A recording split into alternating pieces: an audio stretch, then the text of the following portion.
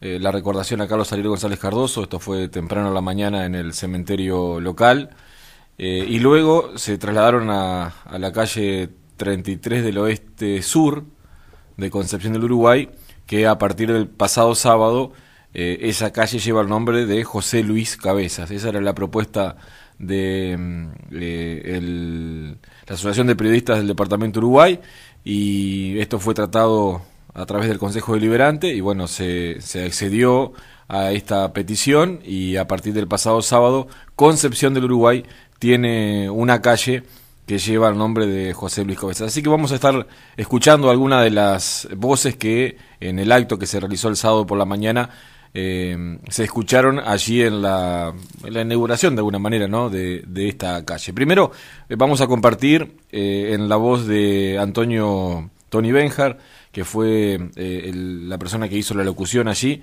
eh, vamos a escuchar la ordenanza, la lectura de la ordenanza que establece eh, que una calle de Concepción del Uruguay lleve el nombre de José Luis Cabezas.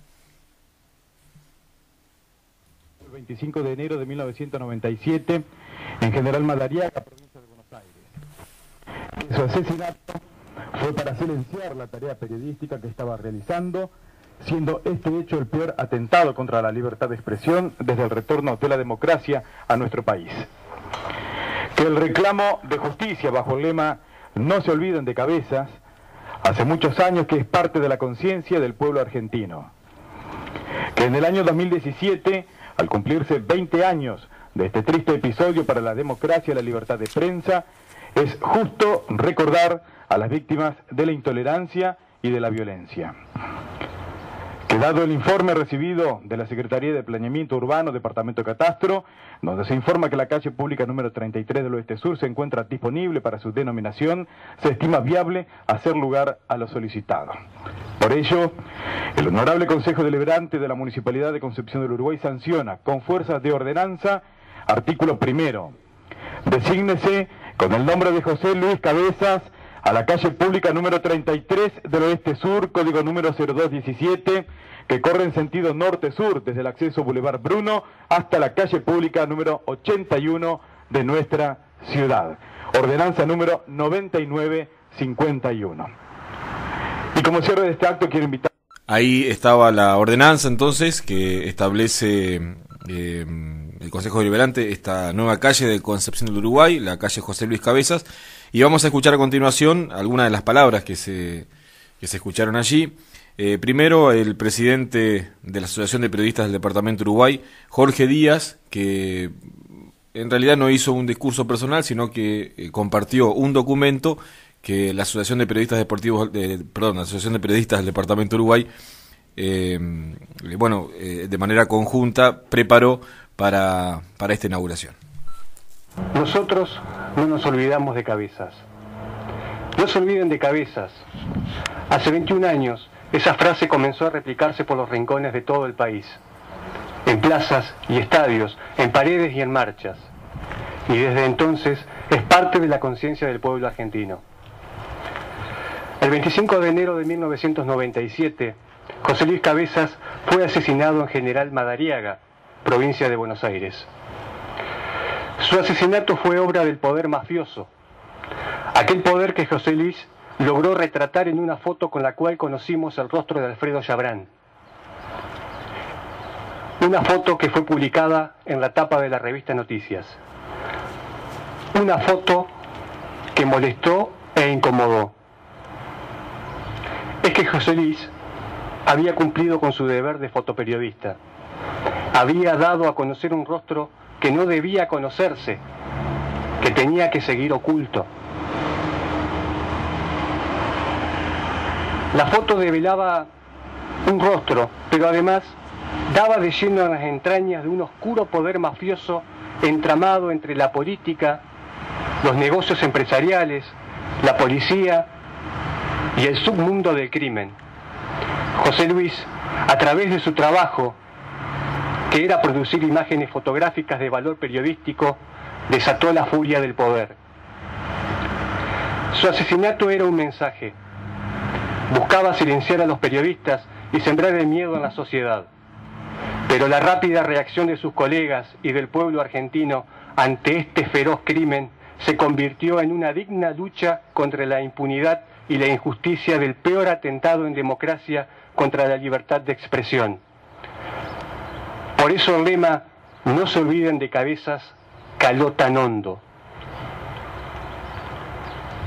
Nosotros, en la Asociación de Periodistas del Departamento Uruguay, no conocimos personalmente a José Luis Cabezas, pero nos sentimos un compañero de trabajo.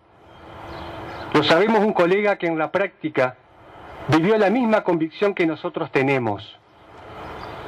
La profunda convicción de que la libertad de expresión es inseparable de la democracia y del Estado de Derecho. La profunda convicción de que la información es un derecho y a la vez una garantía de otros derechos para todos los ciudadanos, para cada una de las personas con las que convivimos y para las cuales José Luis trabajó y dio su vida. Por eso seguimos exigiendo que los autores del asesinato de José Luis cumplan la pena efectiva, esa pena efectiva de prisión que recibió hace un par de años o que recibieron hace un par de años los autores materiales del hecho, para que eso no quede impune. A 21 años, aquí en Concepción del Uruguay, en esta mañana de sábado, abrazados a su hermana Gladys y a su compañero Gabriel, volvemos a pedirles a toda la comunidad, no se olviden de cabezas, nosotros no nos olvidamos. Muchas gracias. Bueno, eh, luego de Jorge Díaz, como bien lo estaba diciendo en su discurso, eh, estuvo presente Gladys Cabezas, la hermana de José Luis, y también eh, fue invitada a hacer uso de la palabra. Muy, muy emotivo lo que se leyó recién y es una realidad. ustedes no conocieron a José Luis Cabezas y yo les puedo decir eh, José Luis Cabezas, mi hermano, no el fotógrafo que, bueno, Gaby después eh, eh, les va a contar quién era, pero yo le puedo decir quién era como, como hermano. José Luis Cabezas era un chabón bravo, un chabón que, que amaba a la vida, que amaba a su familia y que amaba su profesión sobre todas las cosas. Yo creo que si no lo hubiesen pagado, él lo hubiese seguido siendo fotógrafo. era un tipo alegre y un tipo que, que yo a veces pienso, ¿no? Cómo le hubiese gustado ver a sus hijos crecer, ver a, a mis hijos crecer, ver a mis nietos y seguir con su familia, porque eso era él, un familiero. Nosotros, eh, como familia, yo soy un poco la, vocera de las familias, bueno, en realidad soy la única que quedó la familia, yo me quedé sin mi familia originaria, ni mi hermano, ni mi mamá, ni mi papá ya están. Eh, tengo la familia que yo formé, pero bueno. Eh, y, hacer esto me, me da como un poco de tristeza porque es mi hermano, pero por otro lado me enorgullece, ¿no? Yo ayer venía con Gabriel y decíamos, claro, seguíamos la ruta y yo, pero esto es lejísimo. Y le digo, ¿qué debe estar pensando José Luis arriba? Mira esto como viajan para ir a verme. Eh, y, bueno, y, estar con Gabriel a mí me, hace bien, me hace como una terapia, porque es como estar con él, porque Gaby me cuenta historias de cuando trabajaban juntos, entonces para mí es una terapia. Eh, estar con él es como estar con José Luis, me cuenta, me cuenta todo lo que hicieron, lo que hacían, me, lo trae siempre, me lo trae en todos los recuerdos. Yo agradezco muchísimo eh, esta calle José Luis Cabezas, increíble, no, no, no lo puedo creer. Eh, yo a veces no me doy cuenta que es mi hermano. Ustedes saben que para hacer esto yo es como que me alejo un poquito y no me doy cuenta que es mi hermano, ¿no? Pero cuando leo cabezas, digo, yo soy cabezas y ese era mi hermano.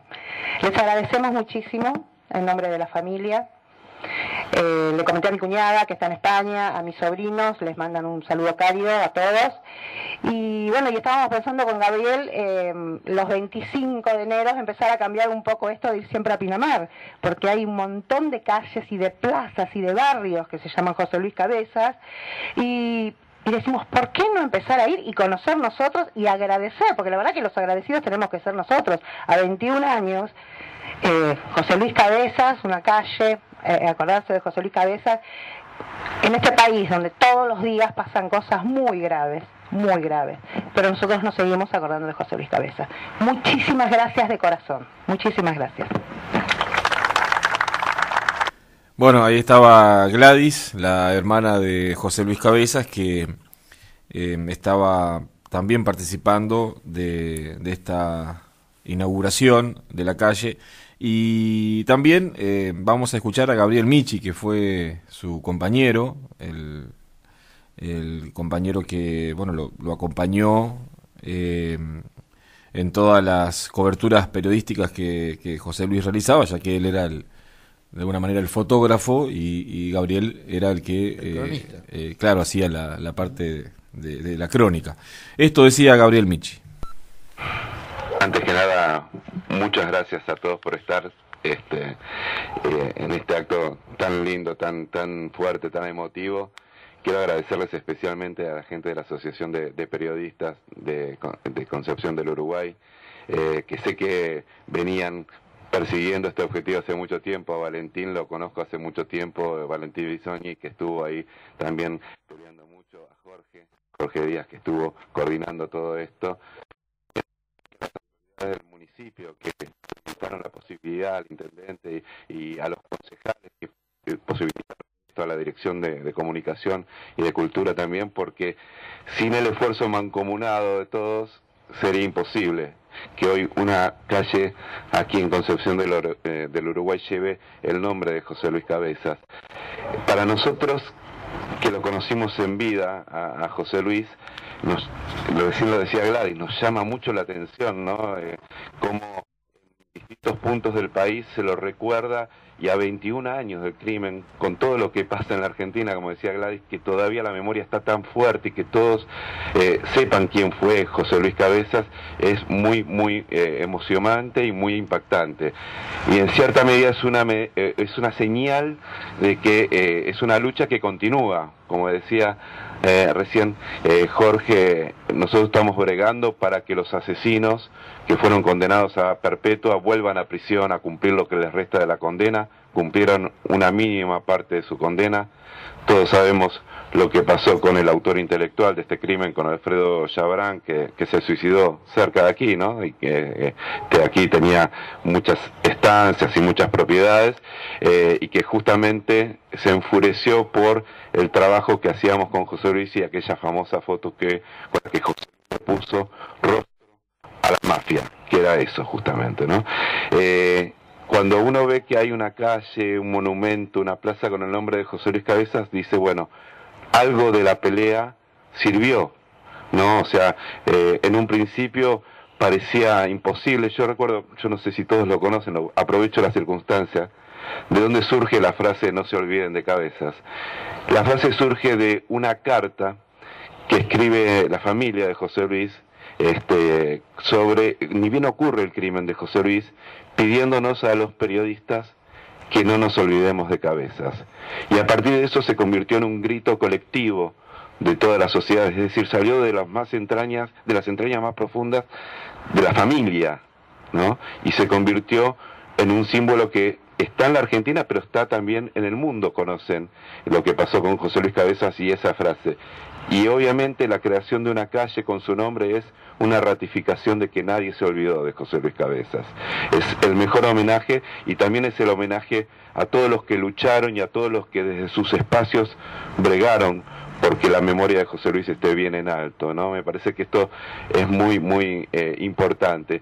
Y yo decía recién que también está bueno que para las nuevas generaciones, para los chicos que de pronto pasen por acá y vean que hay una calle que se llama José Luis Cabezas, pregunten quién fue José Luis Las Cabezas y tengamos la posibilidad de contarles qué pasó con José Luis Cabezas en lo que fue sin duda, como decía Jorge, el peor ataque a la libertad de expresión desde que volvió la democracia en la República Argentina.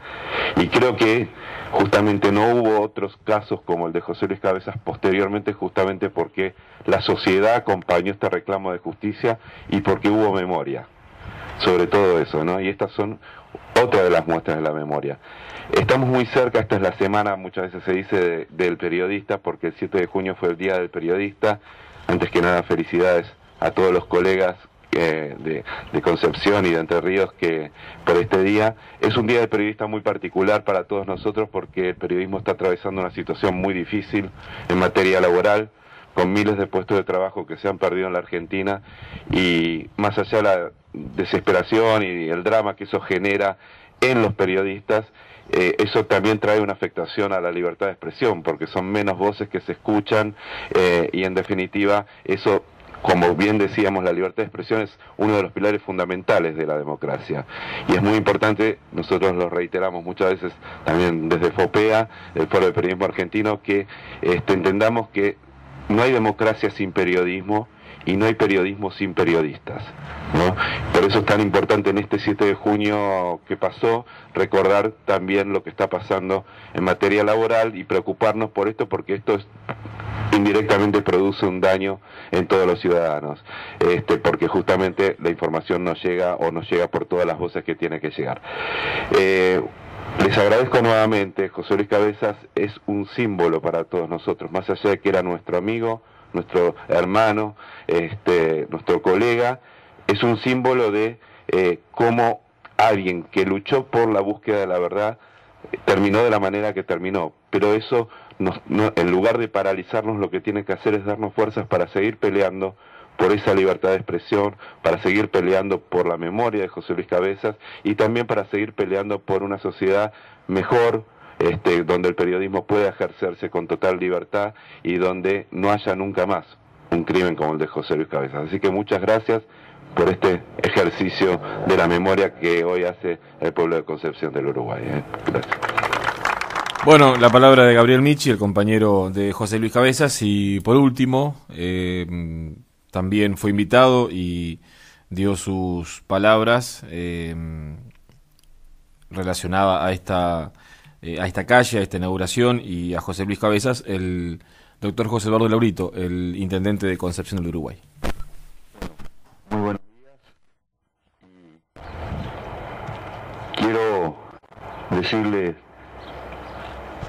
en Gladys, en Gabriel, en todos los familiares que, que están acompañando, decirle en nombre de, de esta ciudad que un 8 de junio fue la primera que adhirió a los ideales de Mayo, el primer cabildo del interior, que para nosotros es un orgullo que hayan abierto el corazón, como lo han abierto en tantos lugares de la Argentina, para decir estamos en Concepción de Uruguay.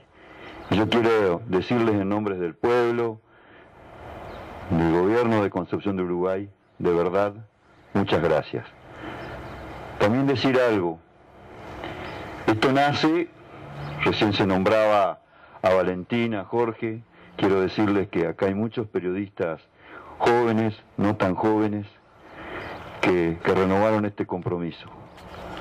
Y lo renovaron de un modo que nosotros tenemos que, que felicitar. Yo lo digo siempre, recién venimos de un homenaje a otro periodista, a Carlos Ariel González Cardoso, y yo siempre trato o intento repetir una frase. Se vuelve de muchas cosas, se vuelve de casi todo pero no del olvido, cuando ese olvido además es injusto. Entonces yo quiero valorar a, los periodistas que están cumpliendo 10 años de haber formado una asociación que cuesta a veces sostenerla, sin embargo tienen estos muchachos jóvenes y los no tan jóvenes esta decisión de continuar a pesar de muchas adversidades que bien las explicaba Gabriel recién. No son los mejores momentos para los trabajadores, ni lo han sido los años anteriores. El esquema de de empresarios que muchas veces no miran el trabajo como un valor trae estas consecuencias. Y no es de solo este tiempo, es de un tiempo que nosotros tenemos que cuestionarnos. En segundo lugar, decirle al presidente del Consejo Deliberante, en los concejales que están aquí presentes, muchas gracias por haber acompañado esta iniciativa. Porque quiero decirles a Gladys, a Gabriel, que acá están concejales de las más diferentes expresiones y todos ellos levantaron la mano en un gesto que significa una aprobación de un pueblo y de una ciudad para algo que, que se constituyó en una tragedia, pero que hoy, 21 años después, tiene este reconocimiento. Y voy a recuperar dos o tres cosas que dijo Gabriel, que la verdad son creo que importantes, uno ya las pensaba como las piensan todos ustedes, pero él las dijo con mucha claridad. Es muy bueno que cuando alguien levante el dedo y diga quién fue José Luis Cabezas, recordemos este día como un día para no olvidarlo de verdad por mucho tiempo, porque explica muchas cosas de la Argentina. Este, este sencillo nombre, denominación, cartel, está explicando muchas cosas de la Argentina. Es un ejercicio de la memoria colectiva, es una construcción de la memoria de, de todos. Y quiero significar algo, ironías, ironías, aquí a poco, 40 kilómetros, terminó la, la vida de, de Yabrán. Nadie quería sus finales, pero tampoco quería el final de José Luis. Es la tristeza de muchas de nuestras contradicciones. Pero a veces poner en escena, como bien lo dijo Gabriel, la cara de un poder oculto que nadie sabe por qué tenía que permanecer oculto, a veces estos actos traen estas consecuencias. Y es muy bueno, es muy bueno que la Argentina haya sido solidaria. Quiero recuperar un nombre de alguien que desde el CELS fue uno de los que defendió a José Luis Cabeza y que es de nuestra ciudad y que es Alberto Bovino. Él fue uno de los que se puso al frente en esta acusación de llevar adelante las pruebas y de una acusación que tampoco era sencilla. Y, decir algo, eh, este nombre, este nombre tiene que ver con la decisión de periodistas, de convecinos de Concepción de Uruguay, que cuando ya las cosas parecen que el tiempo las borra, ellos decidieron recuperarlas y mantenerlas vivas. Decirles gracias por eso. Decirles gracias a los concejales, porque a veces hay muchas formas de, mirar para otro lado y hacerse los distraídos. Felicitarlos por haber asumido y entender que esto fue un acto de justicia. Si por justicia entendemos un valor que muchas veces hay que recuperar. Y y termino diciendo, termino diciendo algo. Ojalá, ojalá que muchos de los que pregunten tengan por siempre la respuesta del valor de eso. La primera enmienda de la Constitución de los Estados Unidos, que, que sirvió para que en aras de la libertad de prensa y por ocultar la información cayera hasta un presidente, es la primera enmienda de una constitución que tenía un criterio bien claro. Cuando la libertad de prensa se pone en pugna es para los gobernados y no para los gobernantes. Esto se dijo allá, siglo XVIII. Sería bueno que estas cosas, aunque ocasionalmente nos toca ocupar otro lugar, sean, sean recuperadas. Por eso el, el valor. Quiero decirle a, a Gladys, a Gabriel, eh, en ellos, a todos, muchas gracias. Y felicitamos esta idea de que, de que, bueno, después de muchos años que tienen que haber sido duros y difíciles y que deben seguir siendo duros y difíciles, hayan querido recuperar y yo creo que José Luis sí, les dirá gracias todos los días de recuperar esos espacios donde cada uno decidió recuperar la, la, la figura de él. Vueltas de la vida, vueltas de la vida, cuando yo era subrogante legal me, tomó, me tocó tomar la declaración a, a Yabrán seis meses antes de, de, de, del mayo de, 2090, de 1998.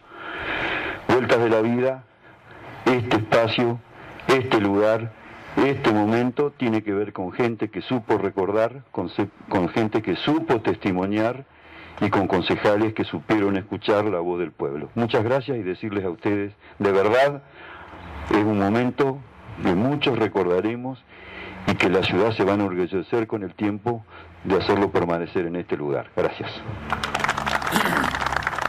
Bueno, ahí estaba la palabra del doctor José Eduardo Laurito, que fue el último en, en expresarse. Eh, en, dentro de lo que fue el orden, después se leyó el, eh, decreto del Consejo Deliberante y de esta manera quedó oficialmente inaugurada la calle José Luis Cabezas de Concepción del Uruguay.